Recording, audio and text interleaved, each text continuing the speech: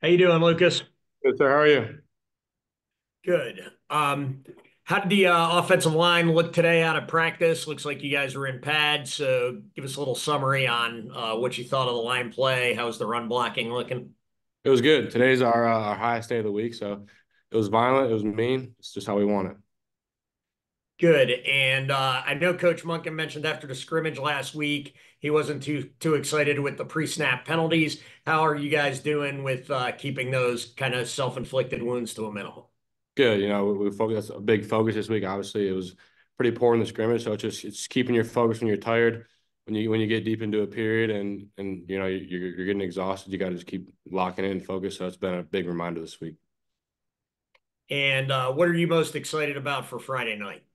just to just to play someone else.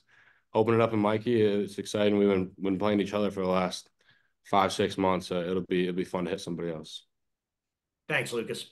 Yes, sir. Hi, Lucas. Ken McMillan of the Times Herald Record.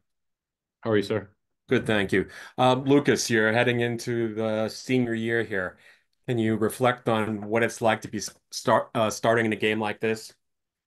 It's it's very exciting. You know, all the guys work so hard here, and you know the, the four years at West Point is, a tough time. So to be able to, you know, see your hard work pay off and you know get a start, no matter what year you're in, it's really impressive here, and I'm super excited and grateful and ready to get after it.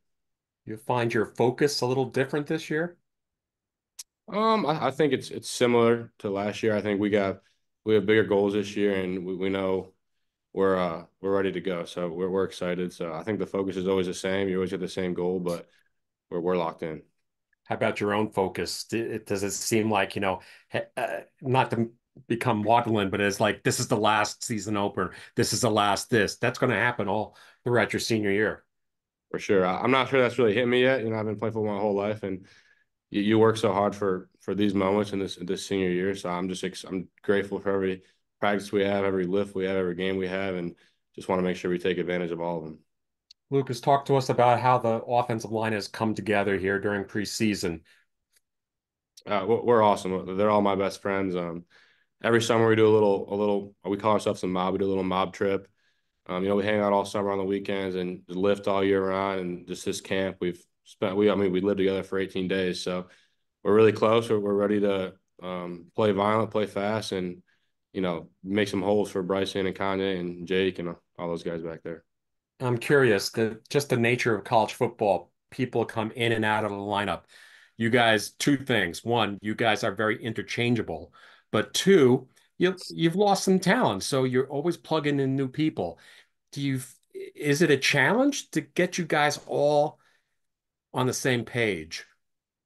Uh, no, I don't, I don't think so. I think we're that's one of our our strengths and that's one of our talents. And you know, they stress from when you get here that more positions you play, the more you know, the more valuable you are, the more chance you have to make a travel roster. So I think all the guys really work hard at that and work hard to understand the offense as a whole, not just locked into their right tackle position or, or center position. So having that versatility makes us very dangerous, and you know, guys take pride in that.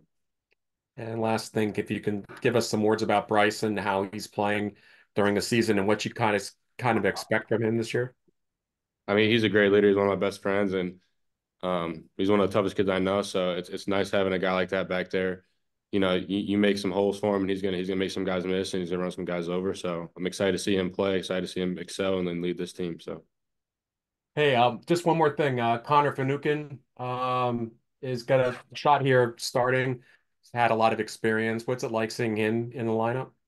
It's awesome. I mean, like I said, the whole offensive line group's really close, so it's, it's great to have him back. He's very very talented player three year starter, four year travel guy. So that his experience, his knowledge has, has helped us all and a lot of young guys. And he has a lot of experience in this triple option offense. So it's exciting to have him back and it just gives us more depth, which makes us more dangerous.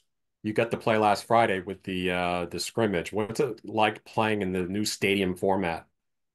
It's a little weird, you know, you're not having those those stands on that side, but you know that, that's not our our big focus. Our we were worried about our assignments, winning games, and moving the ball. So but yeah, it is a little bit different for sure. Mm-hmm.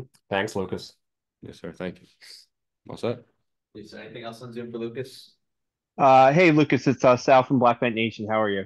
Good, sir. How are you? Good. Um, when you first came to West Point, could you have ever seen yourself uh, lining up at tackle for a game, or uh, is that something that you could have projected yourself at? Or No, I really wasn't expecting that. I mean, high school I was a running back, and all my offers were like tight end or linebacker or D line. So I never really saw offensive line in my future, but I'm I'm glad I, I'm glad I'm where I'm at. what? What do? One more question about Bryson. What do you think? Have you seen a change in him being a captain this year over being, you know, the quarter starting quarterback last year? Uh, I mean, I, he's always had those leadership qualities. I think he's maybe a little more vocal. You know, you can see the confidence in, in the guys that trust him and have confidence in him. So when when he's playing well, when he's leading the huddle, and I think guys strive off that, and you know, it gives us all motivation. I appreciate it. Thanks. Thank you. Thanks, sir.